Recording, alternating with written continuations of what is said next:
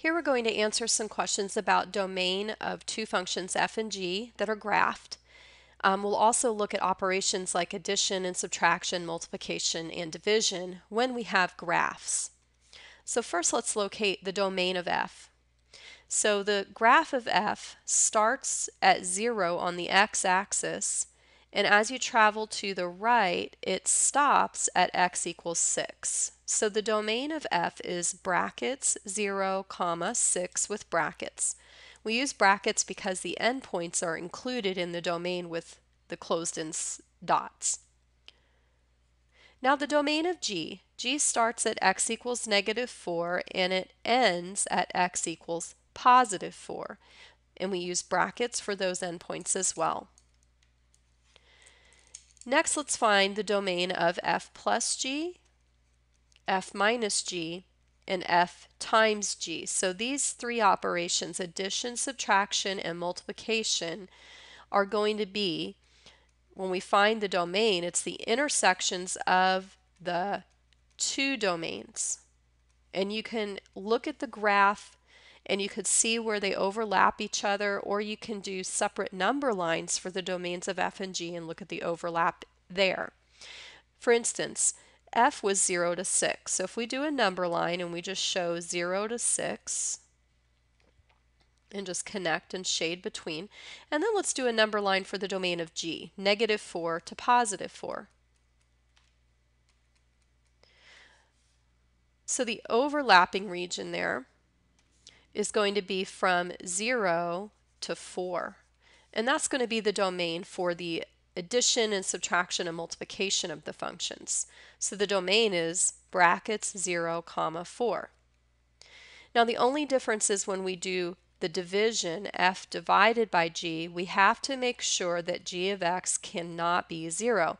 So graphically we're looking at does g of x ever equal 0? Does it ever cross or touch the x-axis? And you can see that g of x never crosses the x-axis. It's never equal to 0. So if it was equal to 0, I would have to add those restrictions to my domain. But since it doesn't, then it's going to have the same domain of 0 to 4. Next, let's do f plus g of 2.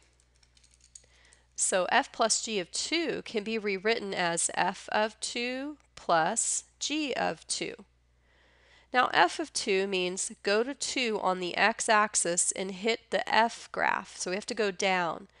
And when we hit the f graph, the y value is at negative 2. So f of 2 is negative 2. Now g of 2 means we go to 2 on the x-axis and we hit the g function at 5. And we want to add these results together now. So negative 2 plus 5 is 3. So f plus g of 2 is equal to 3. Now let's do g minus f of 4. So that can be rewritten as g of 4 minus f of 4. So g of 4 means we want to go to the x-axis at 4 and we want to go to the g graph and the answer is the y value 3. So f of 4, go to 4 on the x-axis and hit the f graph, and the y value is 2. And now we want to subtract. 3 minus 2, we get 1. So g minus f of 4 is equal to 1. f divided by g of 0. So this can be rewritten as f of 0 divided by g of 0. Okay, so f of 0 means go to 0 and you want to hit the f function. Well, that lands right at 0. So we get 0 for f of 0. Now g of 0 means we're at 0, but now we want to go to the g function, and that answer is 3 and 0 divided by 3 is 0. So f divided by g of 0 is 0. Now let's see if it changes if we do g divided by f of 0. So this is now g of 0 divided by f of 0, and I can just use those answers I got above. g of 0 was 3, f of 0 was 0. So if I try to do 3 divided by 0, I cannot. That is undefined. Okay, now let's find the domain of g divided by f. So first, remember that the intersection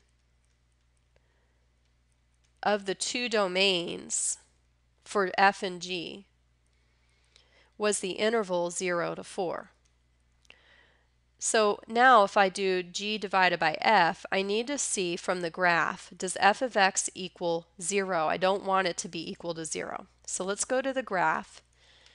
And at 0, at y equals 0, we're looking at this horizontal line.